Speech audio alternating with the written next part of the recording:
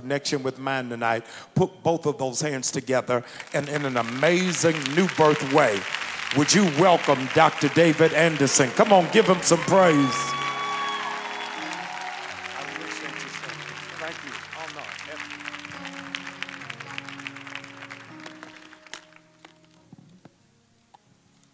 God is good.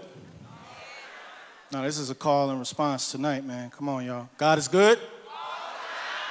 And all the time. I said, God is good. and all the time. All right. Um, I'm, I'm first, I want to I wanna say thank you to a series of people to create this opportunity for tonight. Um, Chris Boyd over at Word of Faith uh, created an opportunity for me to speak there a number of years ago at the Economic Empowerment Conference with T.D. Jakes and Pastor Paula White and a whole bunch of notoriety, big name speakers. I had did a piece there called "There Are No More Jobs" in uh, 2011. The church called back a couple of weeks ago and said that they wanted to recreate that "No More Jobs." They wanted to do an update to "No More Jobs," and so I called Michael Roberts, who's been a heavy influence on my entrepreneurial career. I called George Fraser. I called a number of other people that we work with through the Black Speakers Bureau, and they put on this event at the church. And some kind of way, through Hashim and Zinga, um, Quincy calls on me to come here tonight. So, through a series of odd events, we get here tonight to present to you this information that I, I believe is life changing. I think to be broke is, is an abomination. And, and matter of fact, if you if you read the Jewish benevolent law, and I'm not trying to push Judaism, but if you read in the Torah, Jews believe that it's an abomination to be a tenant. They got rules on how long you should be renting. The rules only go for 36 months. My mom is still in New York renting. She's been at the same spot for 47 years. I love you, mom. I know you're watching, but you've been paying 1500 a month for 47 years. 1500 a month, the last time I calculated was $60,000 times 47 years is over a million five that she's given to Albanians and Jews and other people outside of our community. But the Jews believe that it's an abomination to be a tenant. That's in their Bible, that's in their religion. That's what they believe. It's, a, it's an abomination. They also believe that you gotta own land.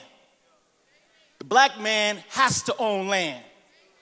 Jamal's in Baltimore before he came down here. Freddie Gray situation.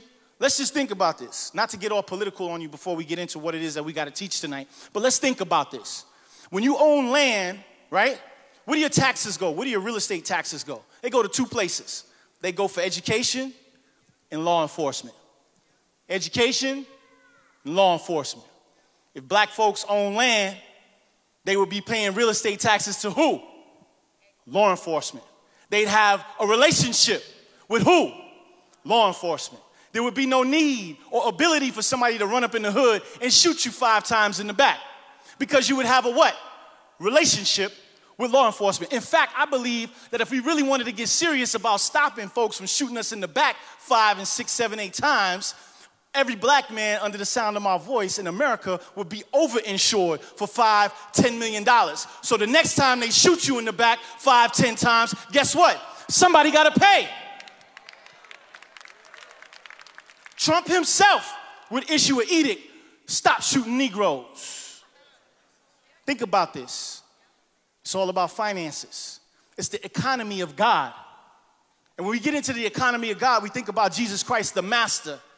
There's only a few accounts in the book that I know that Christ acted outside of himself. What are those accounts, class? There's a number of accounts, but one, one comes to mind in the temple of the holies of holies. And the account says that the Hebrew shekel coin, which was supposed to be $5, got hyperinflated by the money changers. These dudes was outside the temple, they was inflating the money. And it says Christ got angered. Now let's think about this class. Christ got angered over what? He got angered because the money changers inflated the money so that the black Jews, because they was black folks at the time, to make them pay more to enter into the temple to pray to their God.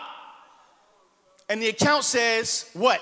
They turn tables over. They bust people in the head over the matter of black economics. This is Jesus Christ, man.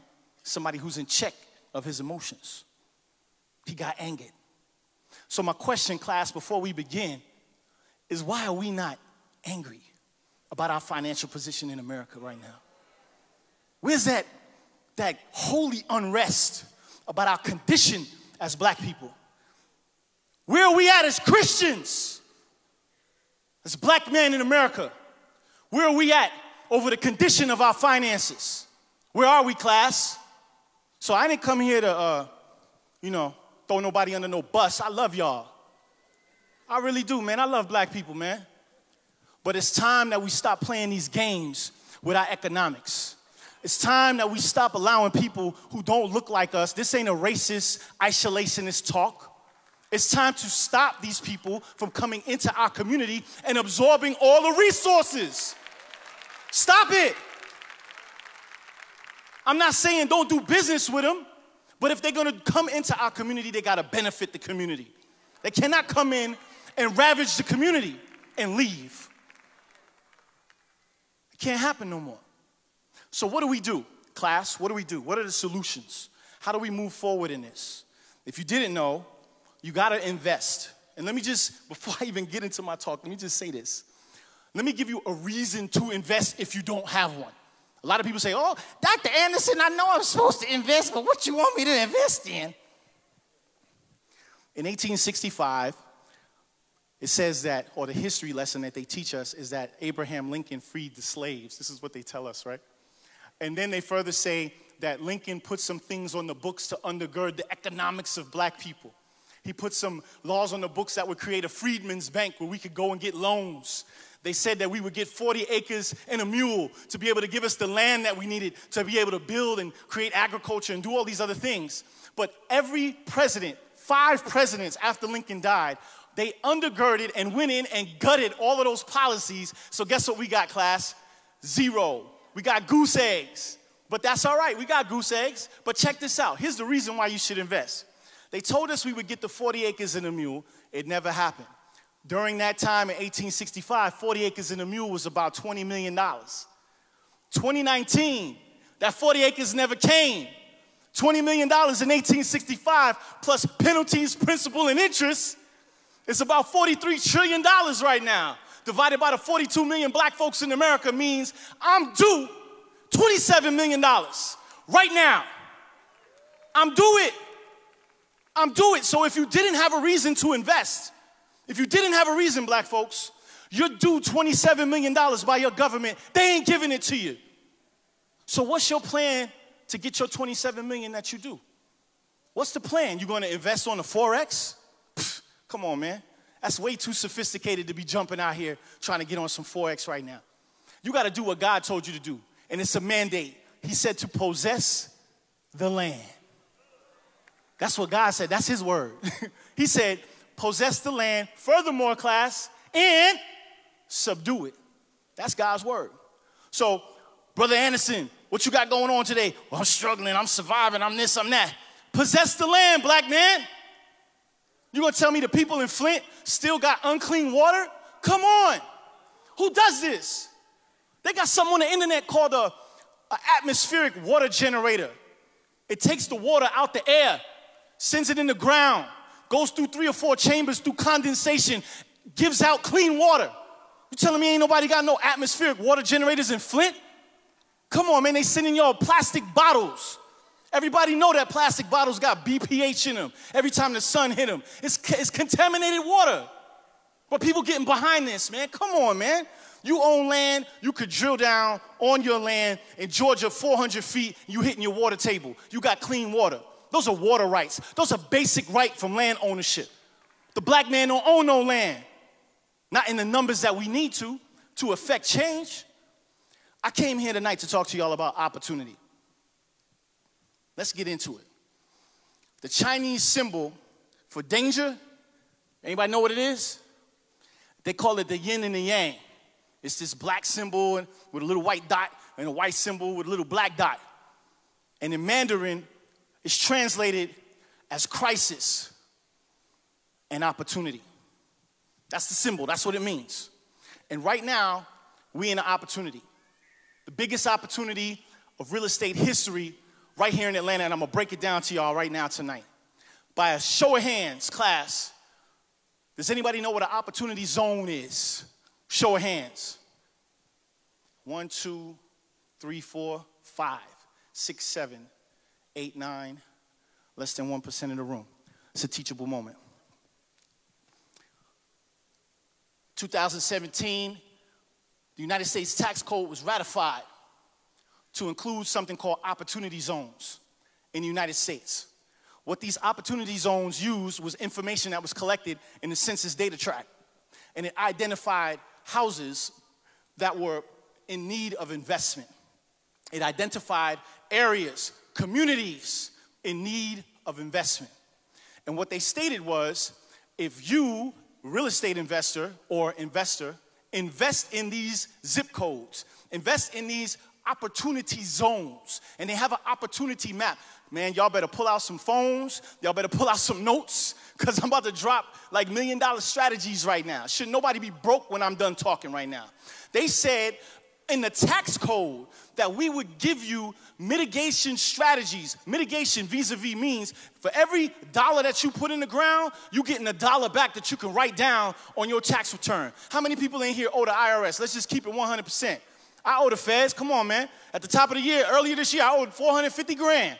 My CPA cut it in half, 225. I still owe right now. And I'm telling y'all about these opportunity zones because when I learned about the opportunity zones, I was like, oh man, all of this property that we invested in, I, I might get a refund. so let me let me clarify.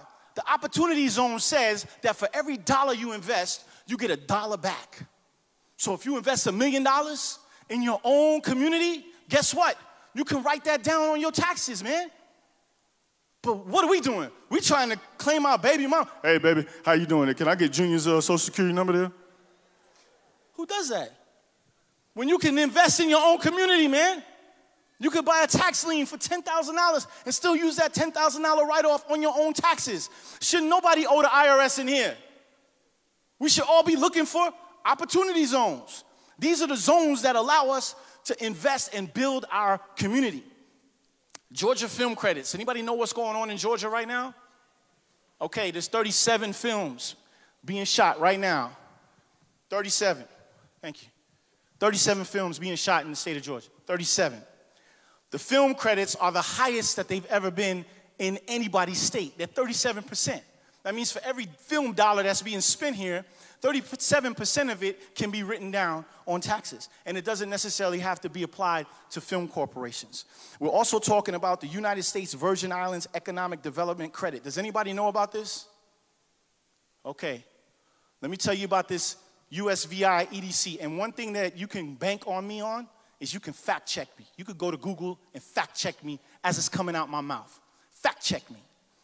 USVI, United States Virgin Islands EDC, Economic Development Credit, Section 934, United States Tax Code. You know what it says? Let me break it down for you. It says for $100,000, and oh, mind you, the uh, Virgin Islands is an entire opportunity zone, and so is Puerto Rico. They just named the whole island, St. Thomas, and parts of Christiansted, an opportunity zone. So if you buy some land there, not only can you write it down, but you can also hire three to five people on the island. You make a $100,000 investment in the island, and guess what, class? They give you 90% tax forgiveness 30 years. 30 years. USVI tax code section 934. This is US tax code. This ain't no sovereign man strategy. This ain't no Nuwaubian strategy. This ain't no, what, what's the brother uh, went to jail? What's his name? Wesley Snipes. You gonna tell me Wesley Snipes went to jail on a federal level and argued he was a Nuwaubian, then trace his lineage to Sacagawean, and it was said he was a sovereign man, didn't want to pay no taxes. Government locked him up, threw the key away. You gonna tell me nobody on Wesley Snipes' team knew about Section 934, United States Tax Code? This is an act of Congress. What's the problem here? The problem is we not getting the information. And then when we get the information, because we live in an information age class, Ain't nobody trying to tell black people or teach black people how to utilize this information or synthesize the information correctly. I got a problem with that. That's I got an issue with that. We in the middle of a government shutdown, all these crazy things going on. Let's talk about this S&P 500 right quick before we get into what we're getting into. And this is very important. We're in a historical high.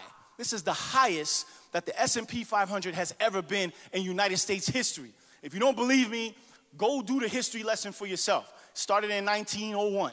In 1913, it was the big crash. It went down how many points, class? 7,000 points. It went go in an upward trend till about 1980, 1979, 1981, when the Carter administration had the oil crisis. That crisis only dropped 4,000 points, class. Went back up on an upward trend to year 2000. Dot com crash was only 3,500 points, class. Then it continued on an upward trend to 2009. 2009, with the real estate crash, was only 5,000 points. The S&P 500 right now is at 22,000 currently. Do y'all know how much it's gonna drop the next time it drops? It's gonna drop 10,000 points minimum. And all black people that I know is got their nest eggs tied up in this stuff and don't even got no insurance to mitigate it. Which means when it drops, who's losing? We are. Everybody in this church is losing. Unless you got some Lloyd's of London put around your entire insurance policy or whatever you invested in to cover your, your loss as the market goes down. Ain't nobody talking to black people about putting cover call insurance around their investments. That's some high level white boy stuff. Some security, um, what do you call them? SEC accredited investor stuff. We're not getting that information, and that's the information that's gonna keep us, man. So let's get into some tangible strategies that we can do right now because this is the game right now. The game is the 401k is not working, and let me show you why. Because when they tell you, class, you put the $1,000 in, and the master meets you, or Mr. Charlie meets you another $1,000. That's $2,000 a month. $2,000 a month times 12 is only 24,000. Even if you give Mr. Charlie 10 years, you only got $240,000 sitting for you when you retire. And not to mention, the interest rates are the cheapest they've ever been. We don't know what they're gonna be in 10, 20, 30 years. They're gonna be high as all get out. So it's cheaper now right? It's cheaper now to do what? Pay taxes. It's just, it's just the cheapest it's ever been. But we ain't looking at it like this. Ain't nobody sitting down telling us, yo, this is what we got to do. We got to move our money and re- invest in real estate in opportunity zones and get the tax benefit from it so that we don't have to pay taxes. This is, this is stuff that's in the basic code. The 401k, where I'm getting to is even if you stayed on the job for 10 years and you only got $240,000, Suze Orman is saying we need five million to retire. You need five million not to have to go work at Walmart. Why is this 73 year old black woman at Walmart on Wesley Chapel talking about good day, young man? What's up with that?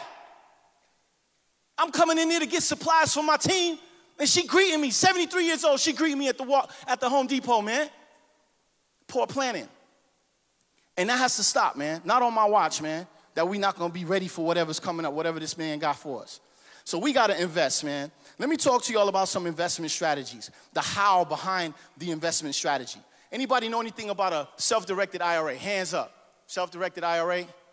All right, if you don't know, you need to order this book. It's called the Self-Directed IRA Handbook. I'm gonna say it again, Self-Directed IRA Handbook. This book right here teaches you how to move funds off the market so that you can invest and you can take your own investments. You don't have to go sit down with your FA. You don't have to sit down with your FA and your FA tell you, oh, well, Dr. Anderson, what you got me in, man? Well, Dr. Anderson, we got you in some softs, we got you in some hards, we got you in some emerging markets. Nah, what you got me in, yo? What you putting my money in? Well, you know, the CCA is the best investment in the planet right now. CCA, you talking about that Michael Jordan stuff? You talking about that corrections Corporation of America?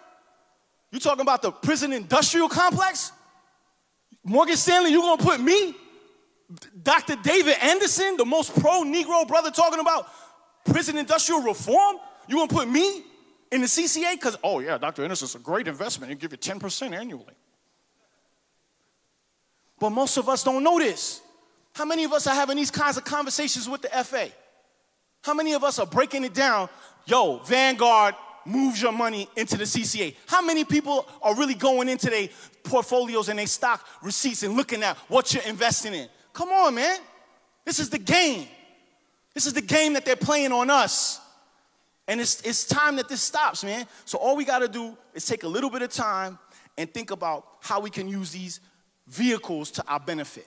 So we talked about the self-directed IRA. Self-directed IRA allows you to move money from the market into your own self-directed IRA that you can put into an LLC to buy real estate or start a business. And let me say this, because they always lying to y'all telling you, well, you know you can't pull your money out because you're gonna get hit with penalties and interest. Stop the press, man. The rule, the last time I checked, and you could download this on Google, like I said, fact check me. The rule says you can download under 59 and a half for two reasons. The first reason is what, class? Start a business. The second reason is to what, class? Invest in real estate. More specifically, tax lien certificates. So let me ask you a question. How is it that all these black people are in here, they got some kind of money in retirement, but we still going to Bank of America begging for a loan to start our business? We still going to SBA talking about, please give me the guarantee, sir, when we got all of this money available to get our own money to start our own businesses, but we don't know nothing about a self-directed IRA. Come on. Come on. This man, this has to stop, which is why Jamal probably called me here, and I'm very appreciative for the opportunity. Let's talk about this. Well, Dr. Anderson, you got some great ideas. But where can I get some money to invest in these big ideas you're talking about? Every speaking engagement, I mean everyone. Somebody mama done died, somebody granddaddy died, somebody mama, daddy, somebody died. And quiet is kept they sitting on 250, 500 million plus. You don't know nothing about it. You know why? Because these women ain't saying, you know, daddy left me a million dollars. They not saying that. They don't say nothing until they see somebody that understands placement. And after every speaking engagement, when Dr. Anderson, I need to talk to you now. You know I need to talk to you, blah, blah, blah, blah, blah, blah. All right, cool. What am I getting at? the number one resource before we go to Bank of America, before we go to all of these other institutions, depository institutions, and oh, by the way, church class, the, the usury fee in the book is, is wickedness, right? So Bank of America charges you an NSF fee, the usury fee. That's wickedness. Because the last time I read it, the book says don't lend money to, well, lend money to your brother and not charge your brother interest. But Bank of America charges you interest. That's not your brother. They charge NSF, you, you went over a penny, $36. Usury, oh, but I got direct deposit with the bank. Usury, we not taking God at his word. We plan. Capital advancement, insurance money. We just broke that down. Let's talk about E2 investment. Anybody know what E2 is? Teachable moment. Teachable moment. Foreign nationals come into this country. You can fact check me, Google me. In fact, go to YouTube and type in EB5 E2 programs. Let me break down E2 and how dope this is. The foreign nationals come into the country. They talk Trump talking about build a wall. Let me show you how fake this is. This is a 30 year program. If you don't believe me, you could go to the ILA conference, which stands for American Immigration Law Association. They have a conference in DC every year downtown, and they talk about this issue of the matching between US entrepreneurs and foreign nationals. United States entrepreneurs and foreign nationals. What are we talking about? How to get money without having to go to the bank. The foreign nationals are looking for what class? U.S. entrepreneurs that they can invest in.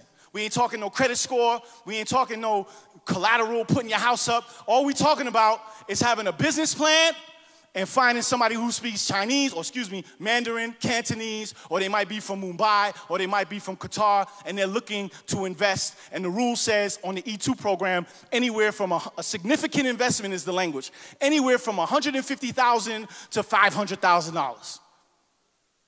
Why are there people who haven't started their businesses? Oh, well, you know, Dr. Anderson, it's real hard because I, got, I can't find the money. You know, the bank, you know, I got a felony, Dr. Anderson. You know, my credit score, you know, my wife divorced me, Dr. Anderson. You know, I had that bankruptcy, Dr. Anderson. The E2 program ain't caring about none of that. All they saying is, a U.S. business with a business plan investment. Somewhere in the number between 150,000 to a half a million dollars. In every business that I've ever started, from the laundromat that appeared in the uh, Blind Side, the movie The Blind Side, the one of Oscar, my laundromat was in there. From the Empowerment Radio Network, Warren Ballentine, Roland Martin, Bev Smith, uh, Les Brown, all of these people, to the real estate group partners, every business that I've ever started, I've never need more than $50,000 to get started. So if I've never needed more than 50 grand to get started, and I've had the most amazing run in entrepreneurship, and you can go to YouTube and type my name in and see it, I know you don't need no half a million dollars to get your business started. That's all I'm saying.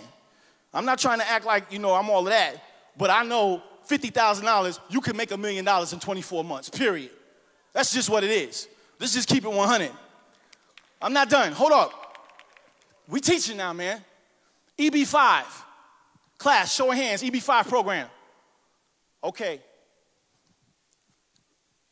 There's a, anybody been to LA? All right.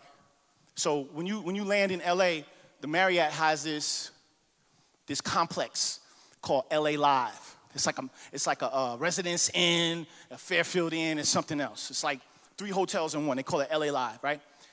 My homeboy Kevin Hicks did this deal. Y'all know how Kevin put this deal together? I met Kevin at Mr. Roberts has this event every year called NABhood. Y'all need to write this down. For anybody in here want to own a hotel? Y'all saw Mr. Roberts in here like a week and a half ago. He just installed Jamal. Come on now. Y'all know what I'm talking about. Mr. Roberts is a billionaire. He got big, long money, super long money, right? Filed a bankruptcy, still got paid. Got paid on the way down. All right? Straight up. Mr. Roberts is the chair for the National Association of black hotel owner operators and developers. He's got a conference that happens every year in Miami at the Biscayne Bay Hotel. This is where the money goes down, okay? This is the conference to be at if you're trying to own hotels. Why is this important? Because I was telling you about Kevin Hicks and how Kevin Hicks was building this Marriott hotel, the LA Live. You know how he raised $100 million to build that hotel? EB5 money. And guess where they had an EB5 class to teach you how to use those investments and how to raise the money? NABhood. We ain't going to the conferences. We going to Essence. Oh, girl, you know, I got to see Frankie Beverly and Maze at Essence. But ain't nobody at NABhood? And they talking about the EB5 program? And how these foreign nationals, these Chinese foreign nationals, in order for them to get entrance into this country, instead of them building a wall, instead of them having to wait 40 years, you're gonna tell me Slick Rick the ruler waited 40 years to get naturalized to become a US citizen? These people put up a million dollars and they instantaneously get a green card. Instantly. Ain't nobody waiting no 40 years. And then when you American entrepreneur, when you create the 10 jobs that you agree to create for every million that they give you, guess what? That green card becomes permanent. But they ain't teaching you this, man. At the Georgia State School of Business. They're not teaching you this at Morris Brown College. Why? Because the professor don't know. The professor is trading his time for money. The professor gave up on his dream, so he said, oh, heck it, I'ma just teach. Professor ain't made no million dollars. He ain't filed no K1s. He don't have no EDC credits. He ain't doing million dollar deals, tens and twenties and hundred million dollar deals. The professor doesn't know.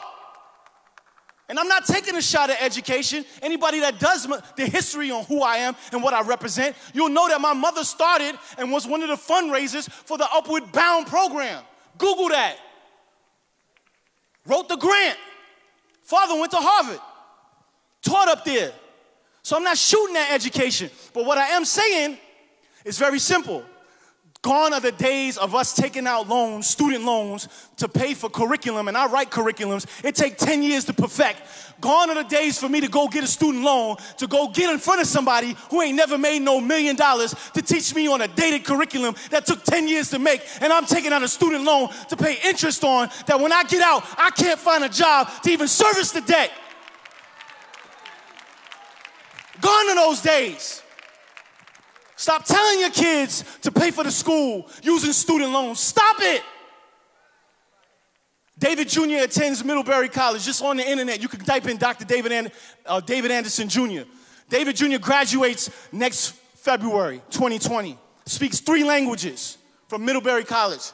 No loans. Not one. Not one. You want to be successful? Let's start here. I got some rules for success. Thou shalt not have a mortgage. Write that down. Write it down. I'm not being sacrilegious, Jamal. Thou shalt not have, not have a mortgage. What's the etymology on the word mortgage? Come on, class. You know what it is? Latin, morta fifth means death. Second word means what? Engage. It's an engagement until death. But we signing up for 30, 40, 50 years for these mortgages. Talking about, I think I'm gonna sign grandmama up for the reverse mortgage.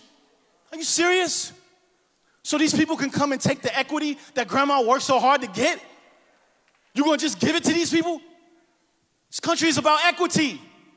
And I started to talk in 1965 or 1865 telling you we're owed 27 million and it's due. But we're gonna keep giving our equity away to these people. Thou shalt not have a mortgage, you wanna be successful. Y'all brothers that got families, y'all out here hustling, trying to make your dream happen, and you coming up short, and your wife looking at you like you crazy. Negro, get a job. But you trying. You trying hard. You trying to connect the dots, but you can't, because you gotta pay the mortgage every month. Dreams is being deferred because you got to pay the mortgage every month. Businesses that you're supposed to be starting ain't starting because you checking in, going to work every day for nine to five because you too scared to come out here in the real field of entrepreneurship and get busy. You scared. And I ain't coming to make you rattle you and make you say, well, Dr. Anderson said I better start my own job, baby, so I'm gonna jump out here and I'm gonna be an entrepreneur Negro. I ain't saying that. Some of us don't need to be entrepreneurs. Some of us need to check in and be told what to do. But you still gotta invest. You still gotta get your kids through school without taking out student loans. Number two, thou shalt not have a car note. Thou shalt not have a car note. Who does that? Who does this? Well, Dr. Anderson, I, I didn't know you coming in here yelling at me. I didn't appreciate that. Hold up. Drive Time Financial charges 48% interest. You gonna tell me that's your option? Well, you know, CarMax gave me a loan. And they went, they had the nerve to go through these Indians on the Indian reservation. Y'all know what I'm talking about? Do, do, do, do. They got them commercials that be running on BET. Do, do, do, do, do. Sky something financial. Do, do, do. You ever see the little, uh, the interest rate? 99.9999%. Pay back in 45 days. Who's signing up for that? Who does this? When we have solutions in the legal newspaper, it comes out and says that there's a public auto auction and cars will be sold to the public. Well, Dr. Anderson, you gotta have a dealer license. Keyword public auto auction. Right? What is it? What am I saying? Let me break this down for y'all. When Day Day and Jai John is driving down I 20 and they don't got insurance on that car and them disco lights go off, what happens? They get pulled over, the car, they go to jail, the car gets what class? Impounded. If Day Day and John John don't got money for insurance payment every month, they don't got money to go get the car. The car's sitting in the lot, $25 a day, 30 days a week. Come on, man. So what does the dude that tows the car, what does he do? He motions the court and says, I don't got time to do this. This is not why I got into business. Judge, I need a court order to sell these 100 cars. The judge signs off on the final order for all of those cars. They give them a certain amount of time to respond. If the banks don't respond, guess what? There's a fire sale of cars without notes attached to them. Now you're gonna tell me it's okay that the woman done been out working hard all day and this dude is still on the couch eating Fruity Loops when he could be out here driving for Uber and getting a car without no note. Come on. Yo, we coming with solutions, man. I know it hurts, black folks. Some people gotta get, ooh, this is too strong. This, I need some cream with this cause it's strong, Pastor. This boy is strong. Help him, Jesus. Third one, third point. Thou shalt not have a mortgage. Thou shalt not have a car note. Thou shalt not have student loans. There was a report that came out in the AJC a couple of weeks ago of a black woman at 89 years old dying had a heart attack because the auto dialer was calling her all day and it stressed her out about a student loan that she had taken out almost 50 years prior. Google that. So now we in so much debt in our golden years, we dying. This thing's serious. Let's get to these solutions before I get out of here, man. Let me talk about 10 reasons to invest in Atlanta. 10 reasons. Not like you need one. I'm gonna give y'all 10. We started talking about the opportunity zones. We talked about the importance of the opportunity zones because investing in an opportunity zone gives you what? The tax credit, right? So if anybody in here owes the IRS, it's really not a problem, $100,000 and under, but if you start getting above 100, 500,000, you know, you're not sleeping too good at night, right? So this is for that person who might not have raised their hand because they, they embarrassed or whatever. You can invest in the opportunity zone. It's right there. Let's talk about the Gulch. Anybody know about this Gulch project?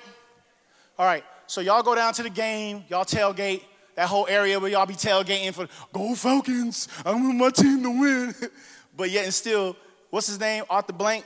He done bought up Vine City, man. Spent 300 million of his own money buying up the hood. but we down here tailgating. We eating that chicken, eating that watermelon. Don't own no land in the Gulch. Let me tell you what's happening in the Gulch. They're spending $500 million, right? To invest building skyscraper complexes. They're talking about Facebook 2 headquarters coming over here. There was a bidding for Amazon and all this other stuff that's going on. Corporate um, technology companies have made Atlanta their destination, and the Gulch is the hot zone. The Gulch is the hot zone. Ain't nobody investing in it. Unbelievable. Hands in the air. Beltline project. Anybody know about this? The Beltline. 1999, Ryan Gravel wrote a thesis statement which stated that economics or infrastructure improves economic development. The thesis statement at Georgia Tech, Ryan Gravel, 1999, doctorate thesis statement. The infrastructure impacts economic development. Somebody down at City Council bought into it. Underneath the, uh, I want to go back to the Shirley Franklin administration, and then Shirley Franklin championed the bill to City Council. Kasim picked it up and started to get hot, and now Keisha's in front of it. The Beltline is gentrifying Atlanta, period. In fact, if you live in Southwest ATL in what we call old school Cascade, the president of the NPU number four, and I ain't talking about the West End, I'm talking deeper into Cascade. I'm talking about John A. White Park. All right? The board of directors is white of that NPU. Now it's okay, I don't got nothing against white folks, but I understand that community is 99.99% black, and there's a white man at the NPU meeting on the board. These are the issues that we need to get in front of, class, but we're not because we're going to the Jay Z and Beyonce concert paying $5,000 to be in the front. We're not at the NPU meeting. Bellwood Rock Quarry. Anybody seen Wakanda? Come on, man. You ain't seen Wakanda, you're gonna lose your black card.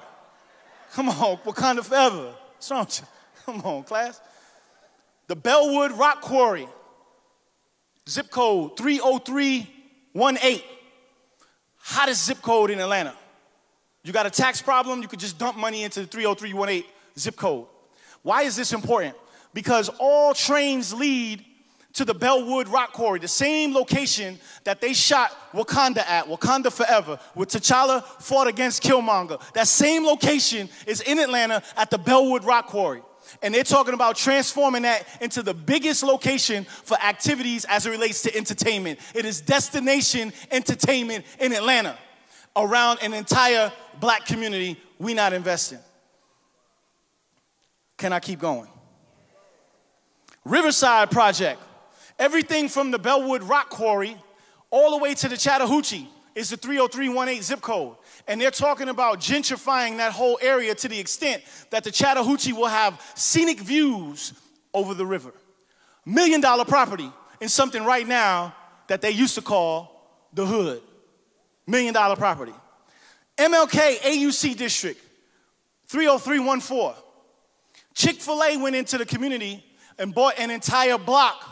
Rick Ross talking about it's time to buy back the block. Chick fil A bought the block back. And in fact, there was a local black business directly across the street. Jay was from New York, got to Atlanta 1993, went to Morris Brown, wife went to Clark. They opened up a restaurant called what? Mr. Everything. And Mr. Everything happened to survive for 25 years without no issues. We selling all kind of sandwiches. They was bringing health to the hood. And the moment, class, the moment Chick-fil-A opens up directly across the street, here come the fire marshal talking about y'all got to close because your building is unstructurally sound and it's the end of you. These are the effects of gentrification on businesses. This stuff just don't affect houses and grandma and grandpa's house. This stuff affects the businesses that have been in the community for years. We can't respond to it because we don't know what's going on. We're not investing. But Arthur Blank is investing. He's putting $350 million into the West Side Future Fund. He's putting his money where his mouth is because of the effects of the dome. But we tailgating. We not involved. We tailgating. Let me tell you about this Charlie Brown field. Y'all know what's up with Charlie Brown? I hate going through Hartsfield Jackson. I absolutely hate it. Hate taking my shoes off. I hate all of that. I like going to Teterboro. I like going to PDK. I like going to Charlie Brown. I like the plane running. I like the white folks looking, trying to be like, where's this guy at? Oh, it's this black guy over here. Oh, man. I love that. Right? So I'm doing real estate so I can have what, class? Gas for my plane. Okay, that's why I'm out here doing what I'm doing. Because I need gas. Class, come on. Gas for my plane. okay? And, let's just be clear on that. Let's understand what I'm talking about. Charlie Brown Field, UPS went and bought the whole western side of the airport. UPS said, we're tired of going to Hartsfield Jackson. They feel the exact same way that I do, but they got longer bread than I got. And so they went and bought the whole western side of the airport. To do what? To redirect their planes and not have to go to Hartsfield Jackson because there's too much air traffic. So they said, this is what we're gonna do. We're gonna buy this area, UPS. We're gonna land our planes. We're gonna put in a distribution center to be able to do our sorts and put our packages on the road, and we out of here and re up the plane, and the plane goes where it's gotta go. That's the investment that UPS has made in Fulton Industrial. The same place, what they call the track, where they got them people out there working at 3, 4 in the morning. You know what I'm talking about, the track. UPS spent millions of dollars on the track we going to the Jay-Z and Beyonce concert paying $5,000 to be at the Dome. We don't own nothing. Tyler Perry Studios, Fort McPherson. This dude bought the entire military installation. Didn't nobody know that Colin Powell's office was down 33 degrees below, 33 stories below was Colin Powell's office. Didn't nobody know that. They thought Colin Powell was in DC. He was in Atlanta the whole time. And didn't nobody know it. Why? Because they was running NORAD from there. Didn't nobody know until Tyler bought it and was like, what's this elevator go to? Let's check this out. This is interesting. And it's Colin Powell's office. Can you imagine that? that? That's unprecedented to me, man. That all of this stuff was going on here in Atlanta. We didn't know nothing about it. You know why? Because we didn't own nothing. But Tyler owns it now, so good job, Tyler Perry. Why am I saying this? Tyler buys Fort McPherson. He's shooting more movies. He's getting, he's in an opportunity zone class. They say he spent 250 million. That's a write-off for him. In addition to the film credits that he's working almost 40%, and he's shooting movies over there. Tyler got it figured out. And we don't gotta be on some Tyler Perry money. We could be doing these strategies on the low.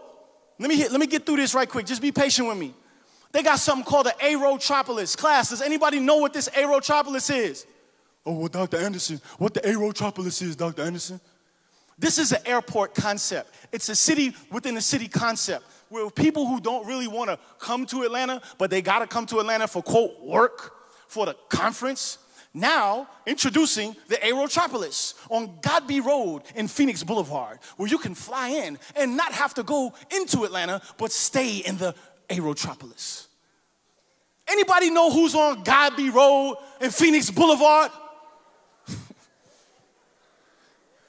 I call this I call this character in my mind Shining Shouted.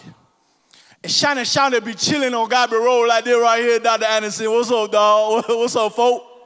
What's up, Dr. Anderson? What's up? I see you on that TV, Dr. Anderson. What's up, folk? On Godby Road and Phoenix Boulevard is Shining Shouted with a white t-shirt, hustling in the middle of the day, and here come the Aerotropolis. Unbelievable, man. But we got to learn. It's all right. We're going to learn tonight. We're going to learn tonight. The 10th reason that you should invest in Atlanta nine. Don't you hate that? I love it. I love you, baby. Thank you.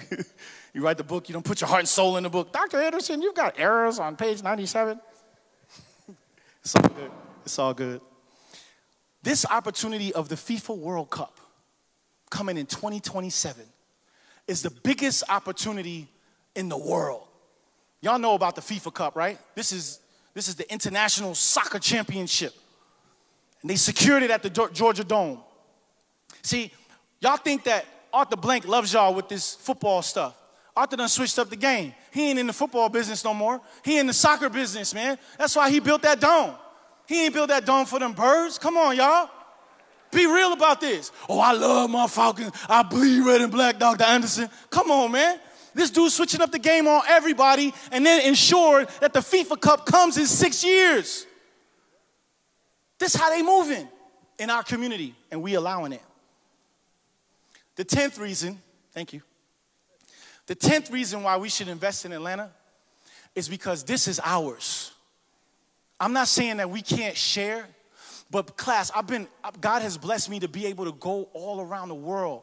We are living the best standard, the best quality, the best clothing, the best access to healthcare, the best housing, the best everything is here in Atlanta.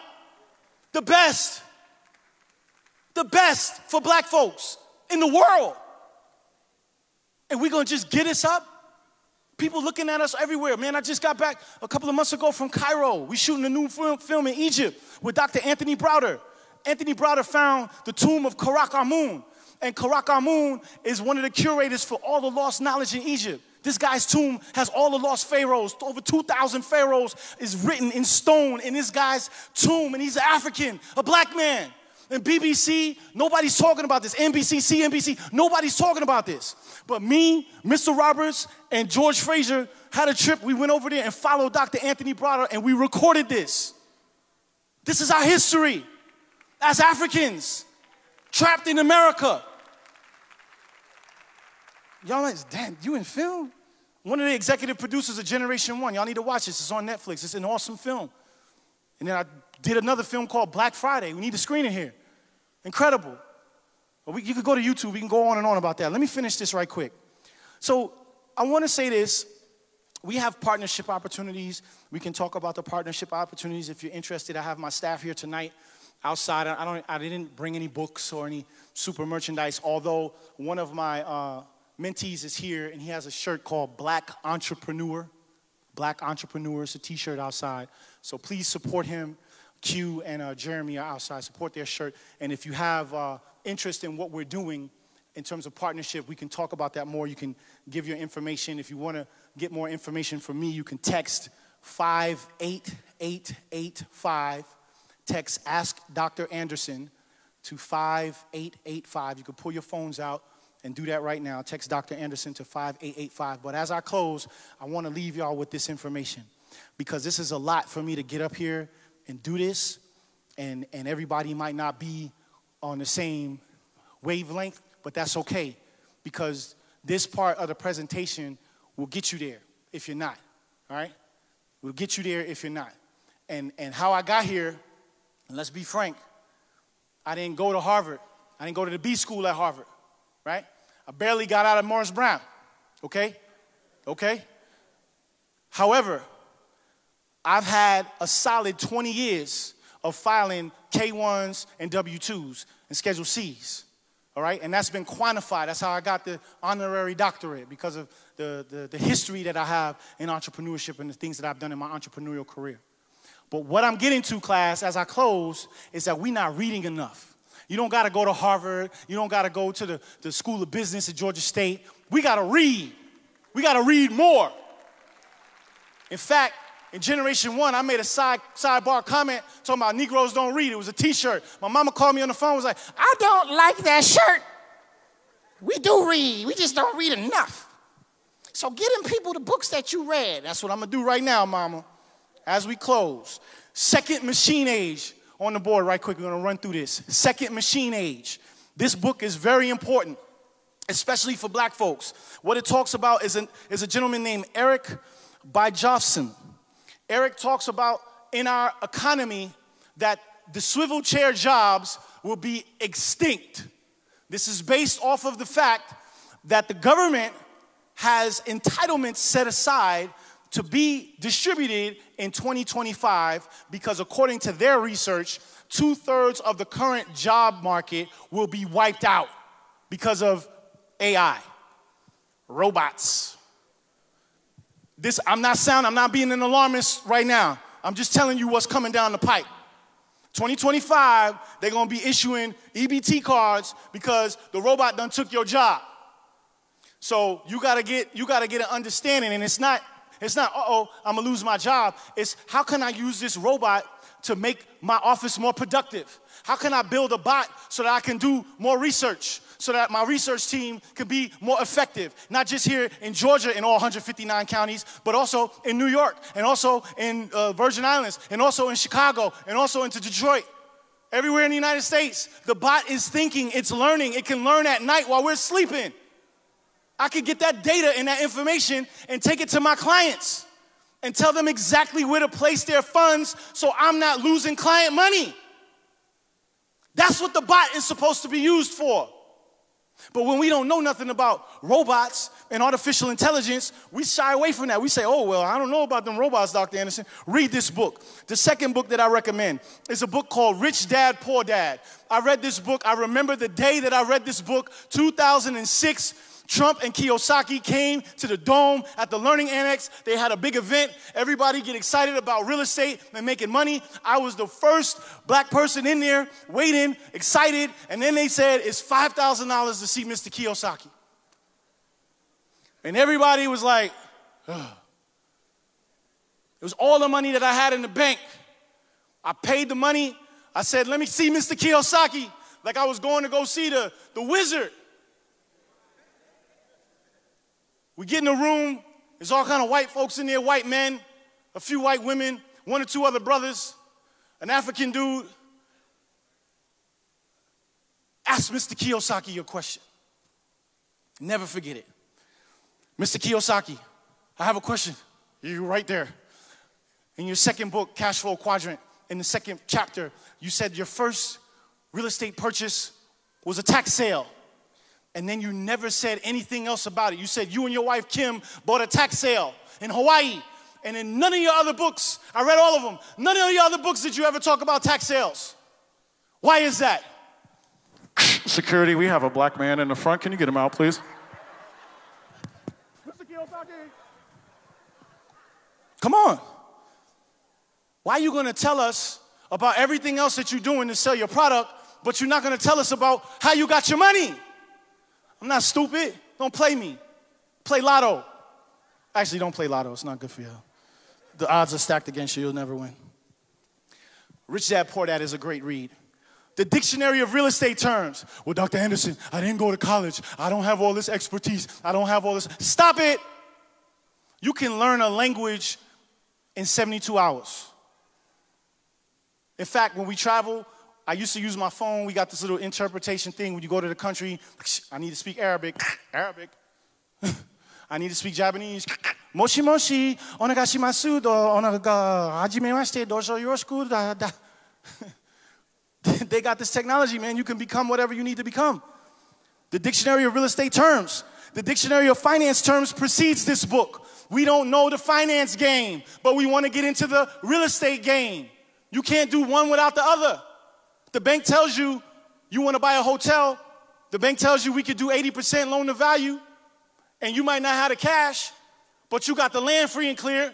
You might be able to use the land as your 20% injection of capital for the other 80. That's how we get hotels done.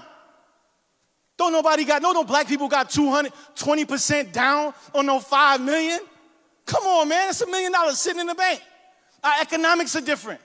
So if you don't have no knowledge of the finance terms, you can't speak the language. You can't speak money leaves, it's a language. These white folks put it in a book, but we don't read it. So we're frustrated because we can't speak the money language. Black's Law Dictionary. Brothers need this. We be on the wrong side of the law every time. I go into the courthouse with a new dynamic, new paradigm of thought. Because the court is a court of law set up as the plaintiff who's driving the action, and then you have the, the respondent, the defendant, in the, in the action of a position of weakness, not of authority. And that person loses because he can't speak the language. That's in this Black's Law Dictionary by Eric A. Gardner. This is a mandate for entrepreneurship.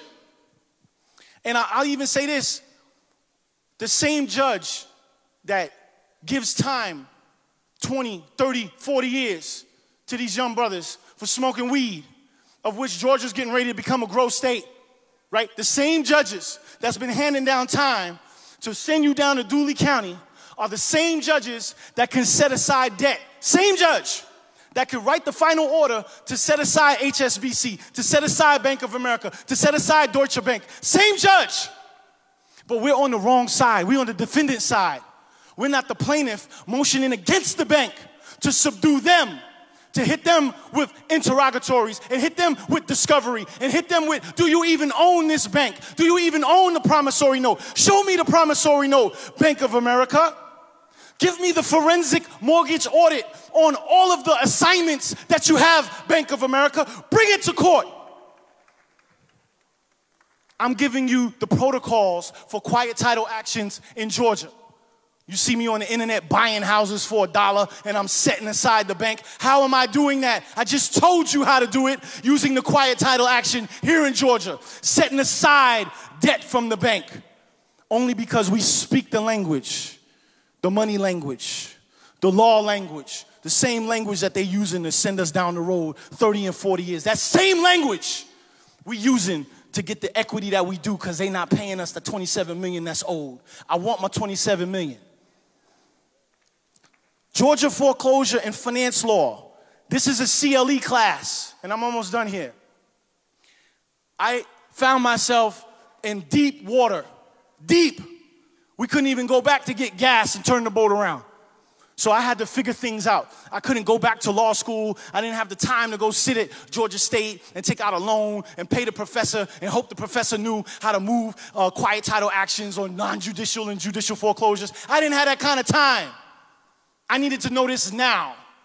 So I opted to take classes, what they call CLE classes, continued learning educational classes, specifically as it relates to quiet title actions in the state of Georgia, specifically in front of lawyers that have practiced law as it relates to real estate quiet titles and real estate law in Georgia over 50, 60, 70, 100 years on a weekend class in a hotel. CLE classes given by the National Business Institute. How many black folks were in that class? It was the only one. Me and my assistant. I've written a book called The No Mortgage Strategy. We can talk more about that outside in the back. Another book that I want to recommend heavily is called The Creature from Jekyll Island. In 1930, right here in Georgia, in the Sea Islands, the Adderhall family, the Rockefellers, the Rothschilds, they all got together at Sea Island and they wrote the international code for the IRS, 1913. Read the book. This is the history of economics in our countries in this book. I don't have time to go through the importance of this. Real estate tax strategies, if you're unclear on how to use the self directed IRAs, this guy in 78 pages explains it on a third grade reading level. He shows you, class, how to raise money. I didn't know how to raise money until I read that book. I was running around hoping that people would see me and hoping that people would say, oh, this guy's smart. Let me try to invest. I didn't understand how to raise funds, raise capital until I read this book. This guy laid out the protocol for capital investment on private sides. This is the information we need. This is why I'm giving it at the end of the class. Laptop Millionaire, written by Mark Anastasi. Some of us don't need to be real estate investors. We don't have the temperament to deal with all of the issues that come along with real estate. So, guess what? You can use your laptop. You can use your laptop to make millions of dollars. And Mark Anastasi wrote a book. And Mark Anastasi, if you know who he is, he's claim to fame is he's made between eight, I think it's nine million dollars monthly on different websites that he's created and drove traffic to. Let me share a secret with y'all. My agent, well, excuse me, almost broker now, my, my real estate broker, even when she, even when Nicole lists a house, it doesn't guarantee that house is gonna sell. Okay? Nicole can list all of the houses in the portfolio. We manage almost $15 million of real estate down at the office. She can list all of the houses in the portfolio. Guess what? Ain't nobody gonna call until what, class? Until we spend that $500 with Facebook and Instagram to get between 27,000 and 35,000 eyeballs on that house. That phone ain't ringing until that happens. What am I saying? I'm saying that traffic generation, SEO, marketing on the internet of whatever product it is, is really the business game. That's the game of business. Marketing. Ain't nothing happening without marketing. And this guy, Anastasi, lays it all out. He lays out how to do it. Becoming your own banker, R. Nelson Nash. This white man's concept is so powerful, he believes that you should not, listen to me, you should not put your money in a bank. He believes that you should put it in what? Insurance. I'm not gonna get into that. That's a whole nother conversation. They're gonna have to bring me back for a breakout session for that. Come on, man. You hit the closing table and it's 500,000 on the, on the table, a capital gain. I'm not putting that in Bank of America. Come on, man. I'm not doing that. I'm putting it in an insurance policy. So next time we got to go write, do a film, I can take a loan against the insurance and go do the film, put the film out, sell it to Netflix, let y'all buy it and stream it, and get 250, 500,000 downloads, and then take the money back, put it back in the insurance policy, and not have to pay taxes on it. Oh, this boy real smart. I'm not smart. I read the book. It's in the book. Well, Dr. Anderson, you got a Series 6, Series 7? You really know what you're talking about? Read the book. It's in the book. Profits in the Stock Market, H.M. Gartley. This is a rare book. I spent $1,000 on this book. One point in my entrepreneurial career, I was running around trying to figure it out. We all trying to figure it out. I'm in a good space right now. Opportunities come, I'll be like, people come in the office, somebody was like, I got 10 million for you, white man. I was like, I'll call you back. The, the girls in the office was like, oh. It's like, man, I, don't want to do that. I'll call you back. I'll get back to you. That's a great space to be in as an entrepreneur when you could choose the opportunities that you want to get involved with.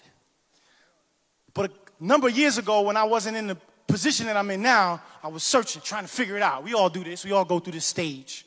And I thought that Forex was the way to do it.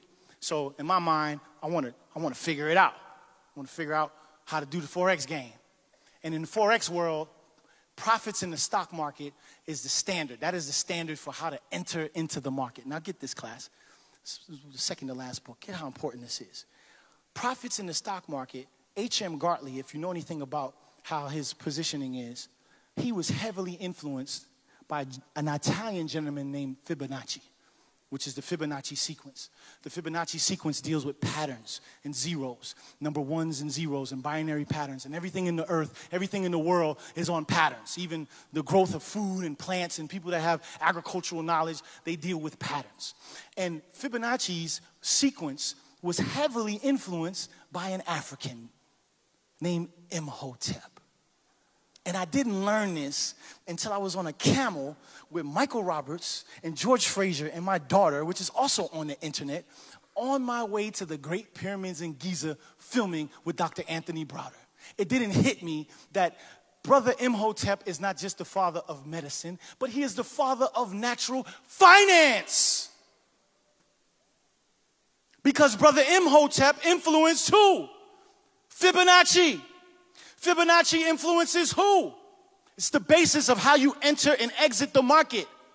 That's what's in profits in the stock market. That's how H.M. Gartley used the harmonic scanner to tell him which way to go. What am I saying, class? I'm saying that white folks, while we're sleeping, are taking profits in the stock market using African uh, technology and African science and methodologies, and you're not benefiting heavy. We're not benefited.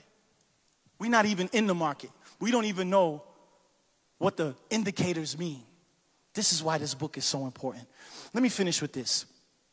Self directed IRA handbook, we started off the class with that. Another self directed IRA book written by Richard Desich, who happens to be the owner of a company called uh, Equity Trust, which is one of our beneficiary companies, and I end on this. The power of zero. David McKnight. I had the pleasure of uh, attending the self directed IRA conference last year. Went to the conference with a problem. I was like, oh, I owe the IRS, I owe the IRS all this money. This is before we went to NABHOOD and learned about the EDC credit. It was before we got with the Kwanza Hall and the, the city of Atlanta and Invest Atlanta sat me down and explained to me how the opportunity zones, this is before all of this information came about. And at this conference, this white boy presented information on something called a Roth IRA constellation. Now, I think I know a little bit of information, but I ain't never heard nobody talk about a Roth IRA constellation. Why is this important? Because, class, they talk this whole entire conference was built off the premise of how you can use the Roth IRA. Teachable moment. The IRS will allow you to put $5,500 in the Roth IRA.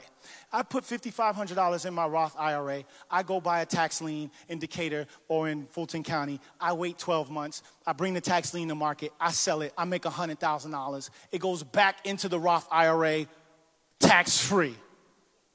Ain't never heard nothing like that till I went to the self directed IRA conference. Ain't nobody told me that. Hold on, it gets crazier. HSA account, okay? Because the health savings account, the, the government says you could put $6,800, fact check me, $6,800 into the HSA account. Guess what you could do with that? Go down to the courthouse, buy a tax lien, bring, wait 12 months, clear all encumbrances, the title, bring it to market, sell it, make $100,000. It goes back into the what? HSA account. Why is that important? Because now I can go get the super cheap insurance with the $5,000, $10,000 deductible. Why? I don't care, because if I got to go to the hospital, I got $100,000 sitting right here in the HSA account to pay for it. So now I'm saving money. I'm not paying $3,000 a month to cover my family. I could be paying 500. Why? Because my HSA account is juiced up. Ain't nobody telling black people that. We don't even have insurance because we can't afford the premium. But we're not using these strategies. You know what else they said? They said that for, for me, I would also get a $12,000 deduction on every employee that I funded. So if I give my staff incentives and say, here's 12.5 for the year, great job, and they put in 12.5 for the year, I can write that off through the SEP, the self-employment program. I mean, the conference is unbelievable. But why is all this important? It's because I learned about this conference reading this book, The Power of Zero. And this concept, these white people believe that they should not pay taxes because they're pushing everything in their lifestyle down to the 0% tax bracket. And they're showing you in this book how to take the losses to be able to do that legitimately. The power of zero. They have power of zero conferences. We don't know about this because we're not reading enough. So I I love y'all, man, and I and I don't hear me. I'm not yelling at us. I love us. I'm, I'm yelling because I'm tired of us not getting what it is that we need to be successful. I'm a,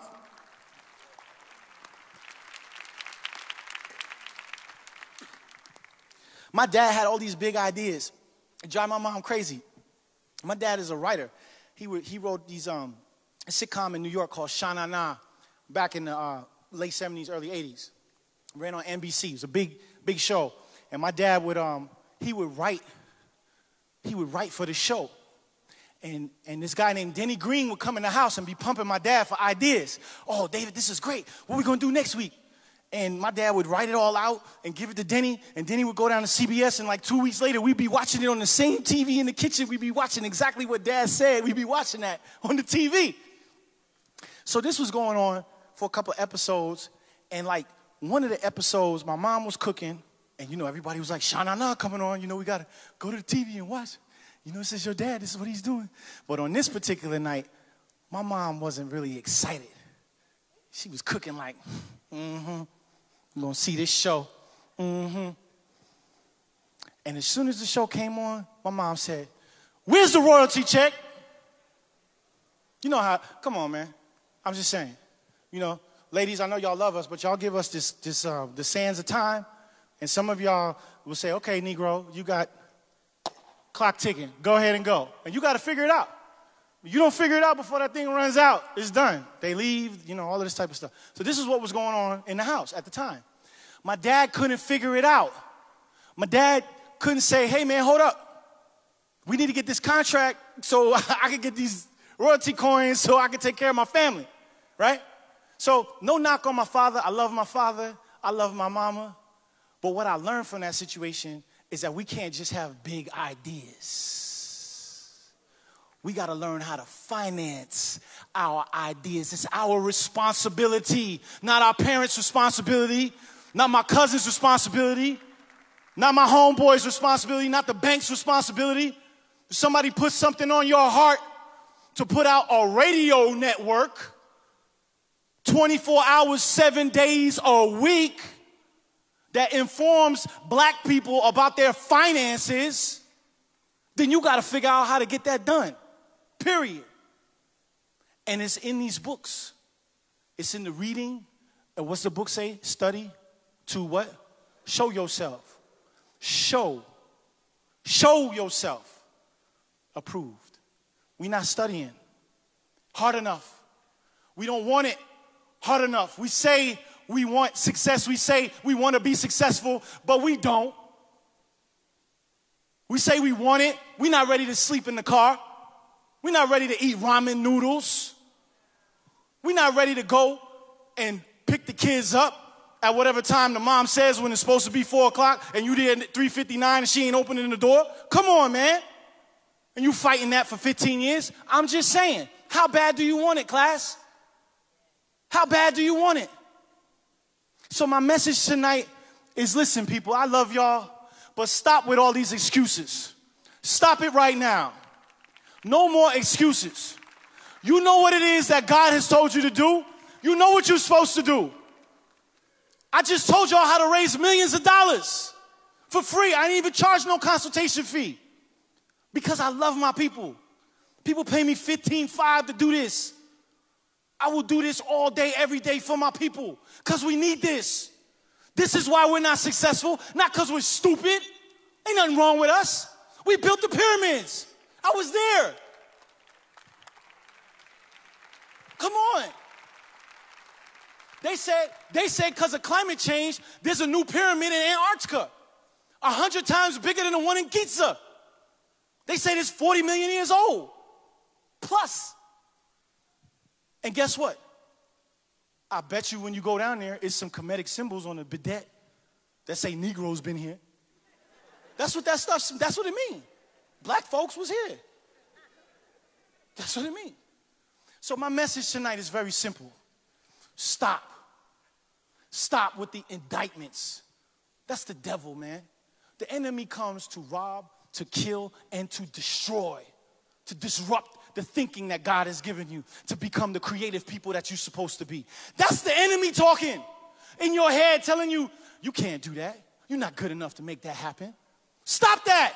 Who told you you can't? Who told you this? Who told y'all? We got everything we need to be successful, people. Everything.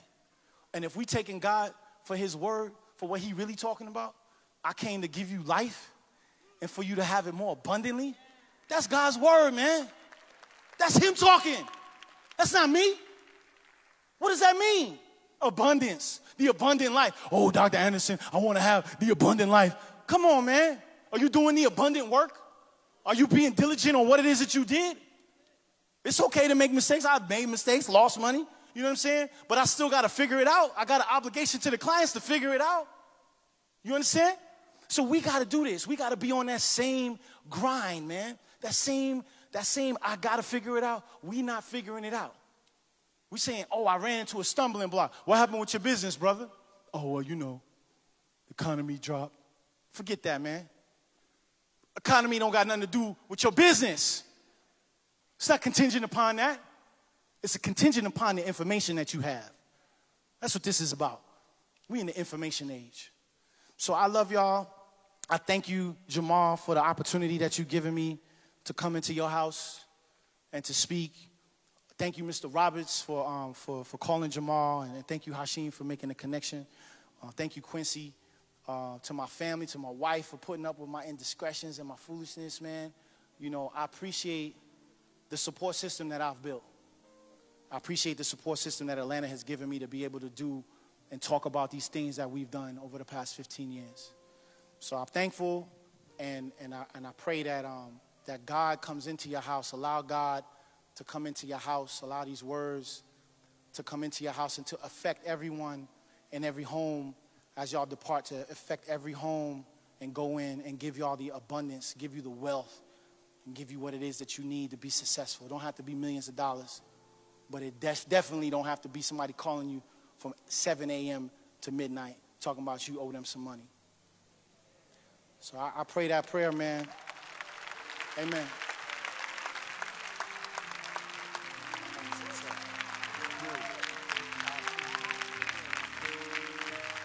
Come on, give Dr. Anderson an amazing applause. Were you blessed? Did you learn anything? Appreciate his heart and grateful uh, for his spirit and his uh, selflessness. Come on, give him another applause. Thank you so much, Dr. Anderson. You may be seated. We're getting ready to close in just one moment. Uh, I hope that you all write those books down. Amen. I hope that you're going to get them. I hope that you're going to read them. Hope you're going to study them. Uh, Dr. Anderson, you were engaging, informing, uh, and enlightening. But I said, if he take off another piece of clothes, I'm gonna lose my job. Uh, but I'm uh, I'm grateful for him. Uh, very quickly, uh, Brother Hunt, if you'll come help us.